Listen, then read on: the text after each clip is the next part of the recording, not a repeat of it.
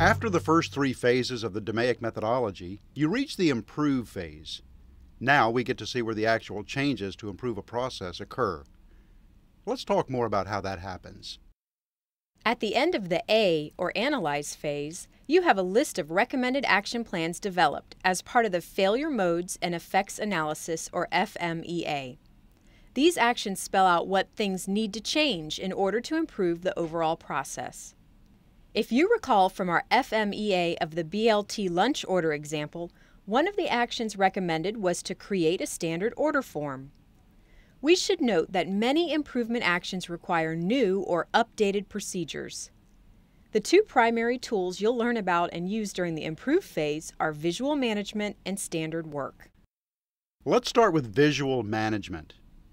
Visual management is the concept of making a workplace more efficient and effective by placing all necessary materials in optimal locations. This helps us quickly see when these materials are out of place. Simple visual signals let us know something needs attention and ensures problems are not hidden or left unattended. When you can quickly see what is going on during the process, you don't waste time and energy. The visual signals used to identify potential problems or prevent errors are called visual displays and visual controls. Both are important techniques to use when implementing visual management with any process. Visual displays communicate important information, but they don't control what people or machines do. Examples of visual displays are huddle boards, labels, tags, and dashboards. Visual controls communicate information so that activities are performed according to standards.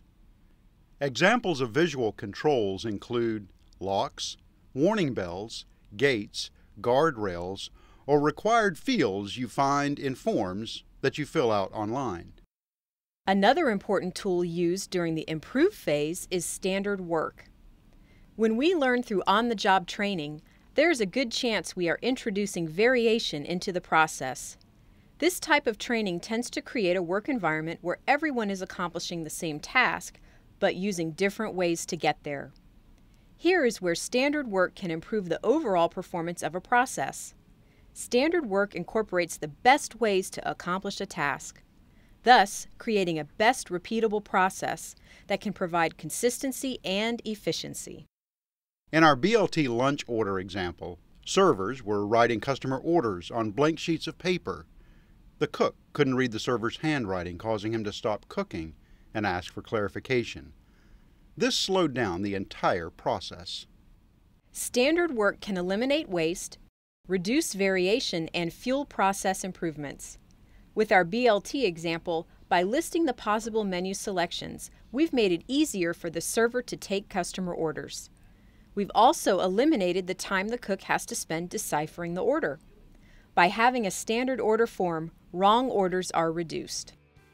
Using visual management and standardized work, the improvements made during the improve phase become easier to sustain.